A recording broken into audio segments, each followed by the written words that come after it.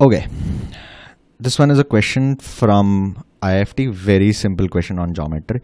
Perimeter of a right angle triangle measures 234. Hypotenuse measures 97. What does the other two sides measured?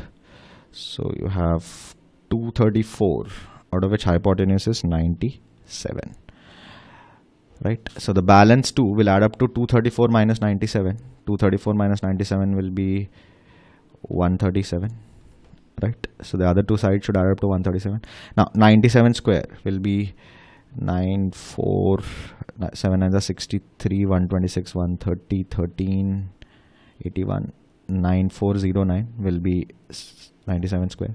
Sum of these two squares should be 9409 right? Let's see 100 cannot be one of the sides because hypotenuse is the longest side so this is out.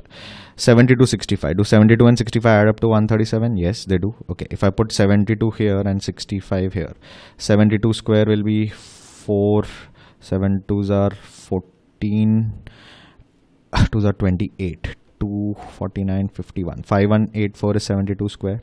65 square will be 25 6 into 7 is 42 right so this will be 9049 9409 which is there. Option b is your correct choice. If you know how to square quickly question is solved very easily. That finishes this one